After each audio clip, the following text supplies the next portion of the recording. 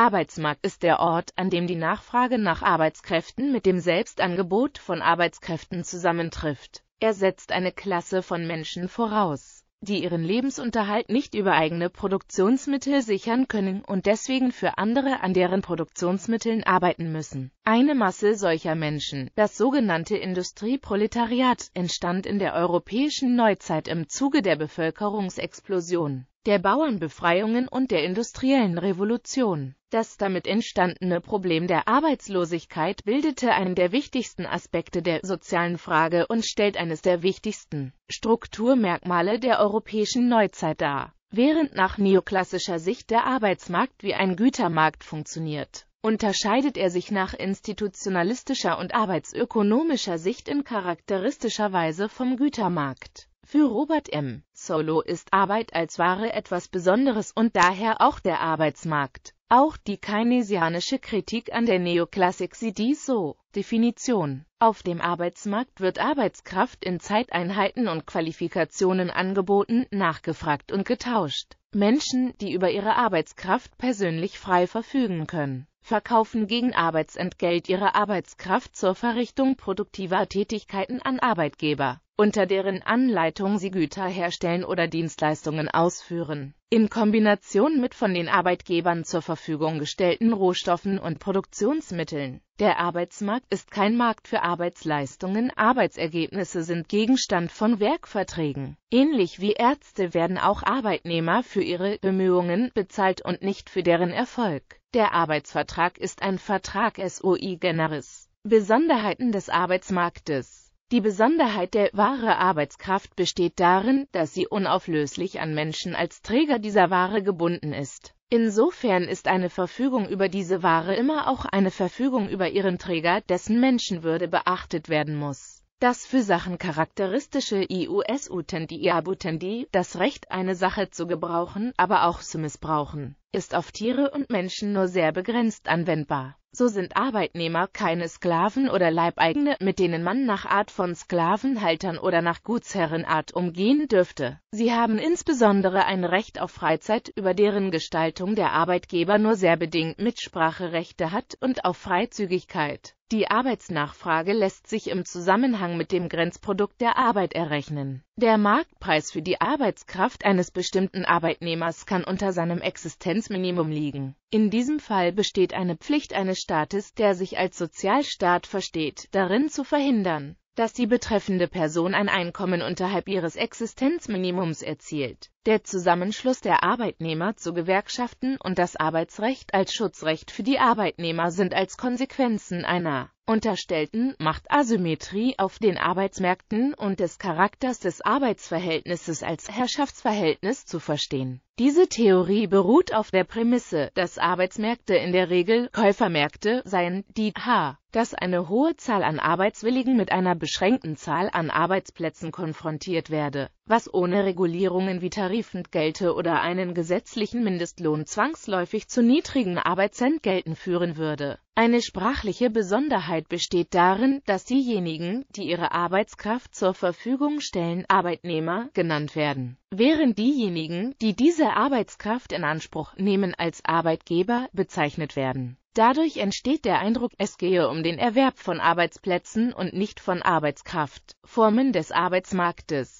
Es wird unterschieden zwischen dem ersten Arbeitsmarkt, der den betriebswirtschaftlich begründeten Bedarf nach Arbeitskräften von Unternehmen mit einer Nachfrage geeigneter freier Arbeitskräfte zusammenführt, und dem zweiten Arbeitsmarkt, der über arbeitsmarktpolitische Maßnahmen zusätzliche Anreize für Arbeitgeber schafft, Arbeitsplätze anzubieten, um damit einen Marktausgleich von Angebot und Nachfrage herbeizuführen. Der Arbeitsmarkt entwickelte sich im Zuge der fortschreitenden Arbeitsteilung. Wichtige Kennzahlen des Arbeitsmarktes sind die Erwerbsquote sowie die Arbeitslosenquote. Sie wird oft regional oder nach Wirtschaftssektoren getrennt dargestellt. Man kann den Arbeitsmarkt für Analysezwecke unterschiedlich strukturieren. Nach dem Alter der Beteiligten, nach Geschlecht der Beteiligten, nach den Produkten und Dienstleistungen, nach dem Arbeitsinhalt, nach der Stellung im Arbeits- und Verwertungsprozess Beschäftigter ist gleich Ausführende. Nach dem Technisierungsniveau der Arbeit. Die volkswirtschaftliche Statistik der Bundesrepublik unterscheidet zwischen sogenannten Erwerbstätige. Dazu zählen auch die Selbstständigen und Personen mit Arbeitsvertrag und mindestens 401 Euro monatlichem Bruttoarbeitseinkommen. Derzeit zählt das Statistische Bundesamt in Deutschland knapp 27 Millionen Arbeitsverhältnisse.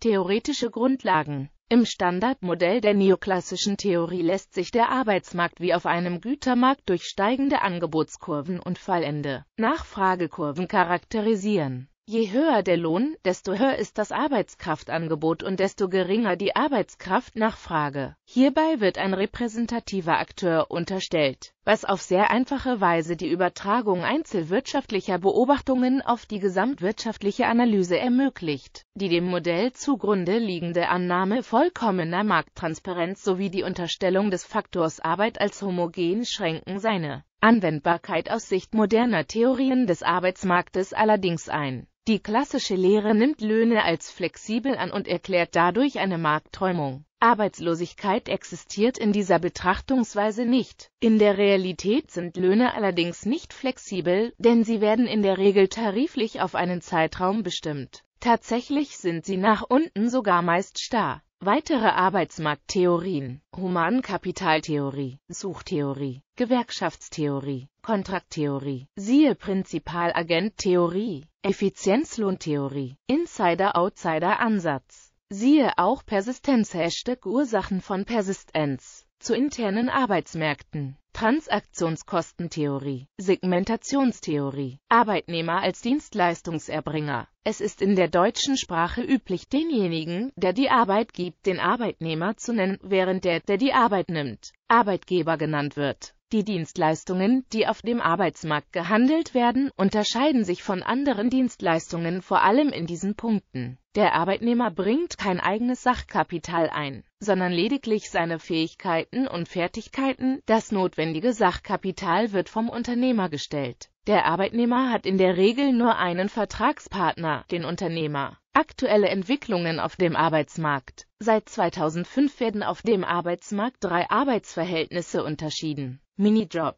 Niedriglohnjob, reguläres Beschäftigungsverhältnis. Dazu abgestuft werden entsprechend Sozialversicherungsbeiträge und Steuern eingezogen. Die Neuregelung beruht auf dem Hartz-Konzept und soll die Zahl der Arbeitsverhältnisse erhöhen. Arbeitsmarktforschung Arbeitsmarkt- und Berufsforschung befasst sich mit der theoretischen und empirischen Untersuchung von Arbeitsmarkt, Berufsgruppen und Branchenentwicklung etc. in wirtschaftlichen und sozialen Zusammenhängen. Für diese Disziplin wurde 1968 an der damaligen Bundesagentur für Arbeit das Institut für Arbeitsmarkt- und Berufsforschung gegründet. Hier wird das Forschungsfeld interdisziplinär von Soziologen, Ökonomen und Ökonometrikern untersucht. Die Forschung unterscheidet zwischen Ländern mit liberalem konservativem und sozialdemokratischem Wohlfahrtsstaatsmodell und deren spezifischen Auswirkungen auf den Arbeitsmarkt. Analysiert man diese Modelle z. B. Anhand ihrer Auswirkungen auf das Geschlechterverhältnis im Arbeitsmarkt ergibt sich folgendes Bild. Im liberalen Modell findet eine allgemein positive Entwicklung der Geschlechtergleichheit auf dem Arbeitsmarkt weitgehend zu Lasten gering verdienender Frauen statt. Im konservativen Modell ist v. a. eine hohe vertikale Segregation d.